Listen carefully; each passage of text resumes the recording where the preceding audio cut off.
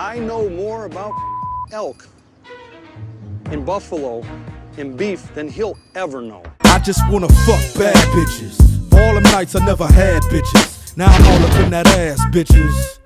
Mad at your boyfriend, ain't you? You's a bad girl, gotta spank you. And gotta thank you for that head clinic. Explicit, hella photogenic. And tell your friends where the dick's at, where they can get hit.